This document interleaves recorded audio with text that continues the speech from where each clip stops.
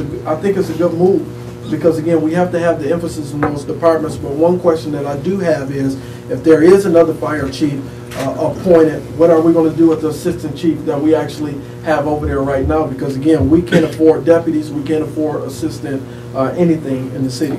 I'll come back after my colleagues speak, but those are just a, few thoughts that I have. Sixty days for public safety plan, thirty days for code enforcement plan. You want to respond now or go around the room? Good question. Go ahead. Well, th- there may be some of those items we can follow up with at another time. Um, What I can tell you is that the, um, currently, uh, our adjustments to the budget um, have impacted uh, every uh, department except for the city council, the ombudsman, and currently, uh, because we have not received any direction from this body, the adjustment to the clerk's office is less than 1%. So uh, in Michael Townsend preparing that uh, amendment for your consideration, I'd ask by the end of the week uh, that you submit any uh, reductions in the departments that you oversee uh, to Michael Townsend so we can calculate that. Uh, Otherwise, the the layoff days, the layoffs to 1,600 employees uh, affect every, excuse me, uh, every department, uh, again, except for uh, a portion of transportation and a portion of community and economic development, which are, which are grant funded. So those are a couple things to, to consider. As we do, we're bringing that amendment forward, so you'll see uh, the spread. Uh, Certainly, a- as the process requires, welcome your input, and you'll have the ability. uh, My office's budget uh, will be open in that amendment, the city administrator's budget uh, will be open. We're making adjustments, and we expect that all of us will share in that sacrifice, including uh, the city council. Is 60 days versus end of uh, the school year, which is what I proposed. That's just a few weeks different. Uh, So we can have that to you before Memorial Day. I I don't see that being a major, um, a a major challenge. Our primary uh, need in order to present uh, something that, again, was going to be more than a plan that sat on the shelf, which I think this community has seen a lot of over the years. Uh, We want a strategy that we know we have the capacity and the expertise to implement. Uh, And with the support from Michigan State's School of Criminal Justice, uh, we're confident that we'll be able to uh, put that together in an integrated fashion. So uh, you just recently approved the receipt of the Foot Patrol grant. Uh, Parallel with that wa- was made the grant to the School of Criminal Justice. Uh, So we're now in a position where we can put together that integrated uh, public safety plan. Uh, The code enforcement uh, package, that, that was pre-discussed at the last meeting. Uh, I, I have a draft plan under my review already, uh, so the 30-day timeline for that is not a problem. Again, that's another example of how we could, we could throw something down on paper and you could look at it, uh, and then conditions wouldn't get any better in the community if we didn't have the enforcement teeth uh, and the proper procedures worked out. So we're committed to doing this once uh, and doing it right.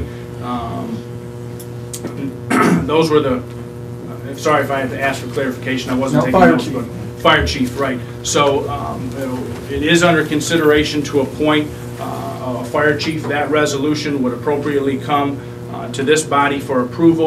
The assistant fire chief position is protected within the current firefighter's uh, contract.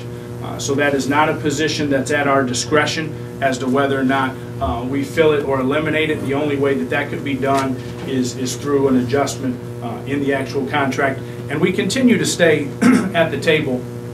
Uh, When, when I made the comment that talks had broken down, uh, that had to do with the fact that we weren't getting any closer at that point to a settlement. But on the day that the layoffs went into effect, there was actually uh, a scheduled mediation session. So a number of staff, along with leaders from the Flint Patrol Officers Union, spent a couple hours together that morning. So I wouldn't want you to ever get the impression that because things are going better or worse, that for any reason the process has stopped. Uh, The process continues, again, even on that day, uh, in the midst of all that we were facing after that unprecedented string of arsons and the attack on this city's safety. Uh, We had a team that was spending a couple hours together on that mediation session.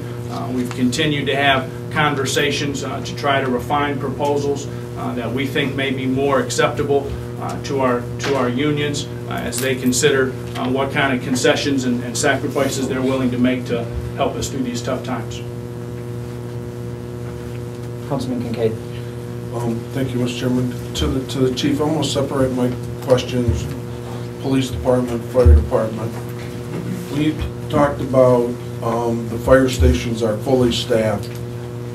Could you run down the staffing of that fire station so that, you know, fully staffed could mean one, one idea, fully staffed could mean another idea. I mean, I, I think I have a pretty good idea what it takes to um, fully staff a fire truck to be able to go in, fight a fire, and save somebody's life.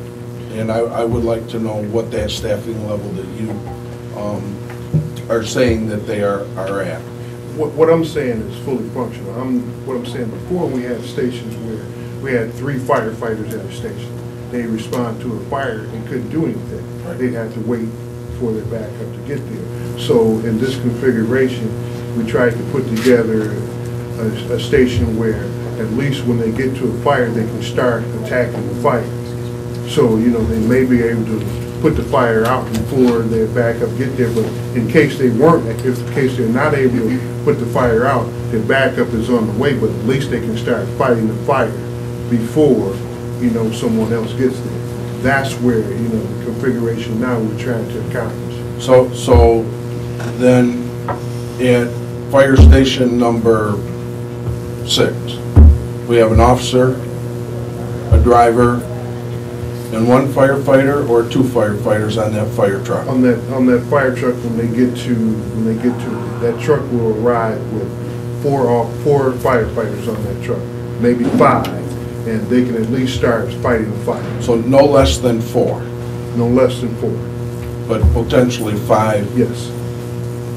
people assigned to that truck, maybe at that particular shift or day. Yes, Is that, is that correct. How about overtime? Are we um, experiencing um, excessive overtime since the layoffs have occurred with the rash of fires? Or um, has overtime maintained at the same level as prior to before the layoffs? Well, I can't, it's too soon to tell right now, because, you know, with this rash of fires, uh, and today, I've been doing other things, I haven't been able to look at the overtime. So we really don't know if we're spending a lot of, I I mean, you know, I, I don't know about the fire department. I know in waste collection, they got behind and they worked overtime on Friday and Saturday.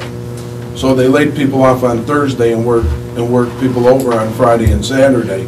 If, we maintain that kind of, um, uh, philosophy in the city of Flint, we're, we're not saving money, because it costs a lot more to pay people overtime. And if in the fire department, we're having firefighters injured because of the excessive number of fires, and we're having people uh, not being able to respond to, for the um, fire station to be fully staffed, and we're having to call in people and work overtime. Um, I'm just concerned that if we're starting to see a trend since Friday, uh, Saturday, Sunday, and today, uh, that if that trend continues, that it could actually cost the city more than prior to before the layoffs, if we're working excessive overtime. And I'm not saying that we are, I'm just asking to make sure